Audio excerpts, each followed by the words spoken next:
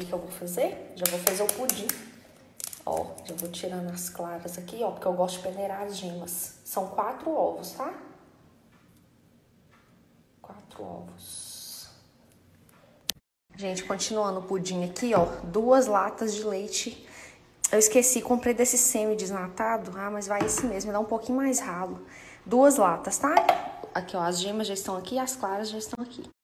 Olha, gente, aqui vai uma lata de leite. Tô colocando todos os ingredientes em temperatura ambiente, tá? Pra bolo isso interfere. Pra pudim, né, não custa nada. Então, vou colocar aqui, ó. Agora a gente vai bater isso aqui, tá? Vamos bater por um tempo. Enquanto isso, eu vou fazer a calda e o queijo entra daqui a pouco. Vou bater aqui. Calda eu fiz aquele método tradicional mesmo. Derrete o açúcar, coloca água. Bati aqui, deu uma pausa. Gente, quanto que coloca de queijo? É meio a gosto, tá? Eu vou colocar mais ou menos essa quantidade aqui. Peraí. Já vou pesar o queijo aqui só pra eu ter noção tanto que eu tô colocando, ó. 150 gramas. Deve dar tipo dois copos, sabe? Assim, não sei falar pra vocês não. Vou picar e vou colocar dentro do liquidificador. Ensinar a receita direitinho, pra você não pensar que tem pulo do gato. Ó, vamos colocar o queijo aqui dentro. Dá mais ou menos dois copos, gente. Se você quiser ralar pra colocar, pode. Aí que eu vou deixar bater. Vou deixar bater um tempo aqui, eu te conto.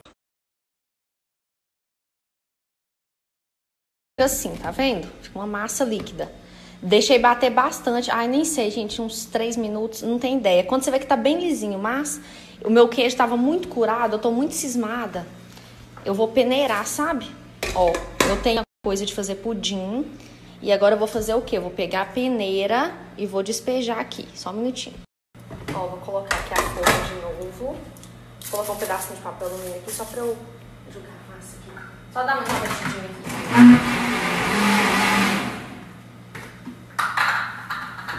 Agora vou colocar o danado aqui.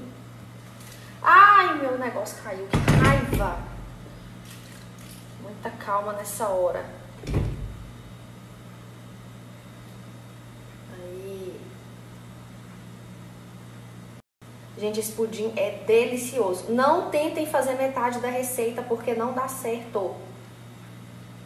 Já é óbvio que eu já tentei fazer metade, querendo economizar, você acha? Não faça metade da receita. Aí agora eu vou. Peraí. Tá vendo aí, né? Então agora a gente coloca aqui papel alumínio. Tampa aqui direitinho. Ai, gente, filmar é muito difícil cozinhar. Ó, pronto. Eu aperto bem, tá? Subo aqui as laterais direitinho. Fogo baixo. Ó, vocês estão me vendo abaixar o fogo aí, ó. Tá vendo? Fogo baixo. Vamos ver quanto tempo vai ficar. Já se passaram quase 30 minutos, ó. Eu tiro aqui. Dou uma espetadinha. Ó, tá bem. Tem que sair limpo, igual bolo, tá? Então tem que deixar mais. Vamos ver como que o danado está. Olha, saiu limpo, tá vendo? Ó. Então já tá bom, vou desligar. Vou pesar esse danado aqui pra eu ver quanto que é. Um setecentos e trinta e sete. Um setecentos e trinta e sete. Uma forma aqui mais ou menos. Olha lá, uma forma tem 130 gramas, mais ou menos. Então quer dizer, gente, é, é um quilo e meio de pudim.